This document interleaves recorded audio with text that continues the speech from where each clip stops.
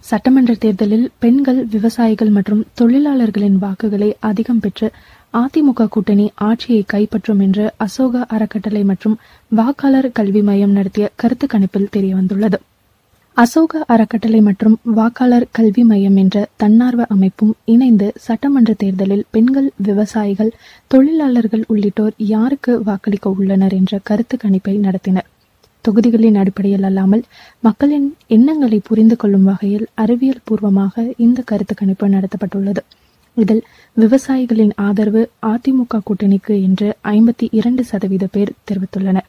இதேபோல் பெண்களின் வாக்குகள் அதிமுக கூட்டணிக்கு என்று ஐம்பத்தோரு சதவீத பேரும் தொழிலாளர்கள் வாக்கு அதிமுக கூட்டணிக்கு என்று முப்பத்தி ஆறு சதவீத பேர் தெரிவித்துள்ளனர். கடந்த பத்து ஆண்டு அதிமுக ஆட்சியில் தமிழகம் வளர்ச்சி அடைந்துள்ளதாக முப்பத்தி நான்கு சதவீத பேரும் வீழ்ச்சி அடைந்துள்ளதாக முப்பது சதவீத பேரும் தெரிவித்துள்ளனர்.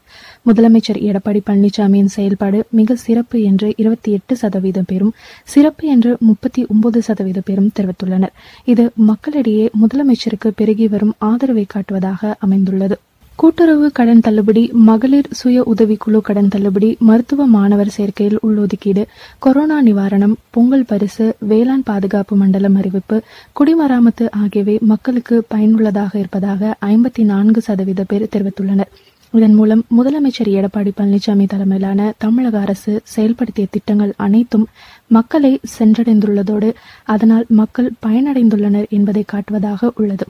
இத்திட்டங்கள் அதிமுகவிற்கு தேர்தலில் அதிக அளவு வாக்குகளை பெற்றுத்தரும் என்று தெரிய வந்துள்ளது அதிமுகவிற்கு எதிரான அலை இல்லை என்று நாற்பத்தோரு சதவீத பேரும் அலை உள்ளதாக இருபத்தி இரண்டு சதவீத பேரும் தெரிவித்துள்ளனர். இது அதிமுக அரசின் பத்து ஆண்டு கால ஆட்சிக்கு கிடைத்த வரவேற்பாகவே கருதப்படுகிறது. பெண்களின் வாக்குகளை கவர்ந்த தலைவராக முதலமைச்சர் எடப்பாடி பழனிசாமி உள்ளார் என்று நாற்பது சதவீத மக்கள் கருத்து தெரிவித்துள்ளனர். அதேபோல் இளைஞர்களின் வாக்குகளை கவர்ந்த தலைவர் எடப்பாடி பழனிசாமி என்று இருபத்தி ஏழு சதவீத பேரும் தலித் மக்களை கவர்ந்த தலைவராக முதலமைச்சர் இருப்பதாக முப்பத்தி இரண்டு சதவீத மக்களும் கருத்து தெரிவித்துள்ளனர். தமிழ்நாட்டின் அடுத்த முதலமைச்சர் எடப்பாடி பழனிசாமி என்று முப்பத்தி இரண்டு சதவீத பேரும் மு ஸ்டாலின் என்று முப்பது சதவீத பேரும் கருத்து தெரிவித்துள்ளனர். இந்த கருத்து கணிப்பு முடிவுகள் மூலம் முதலமைச்சராக எடப்பாடி பழனிசாமி செயல்படுத்திய திட்டங்களின் அடிப்படையில் தமிழக மக்கள் அதிமுக கூட்டணிக்கு வாக்களிக்க தயாராக இருக்கின்றனர் தெரியவந்துள்ளது.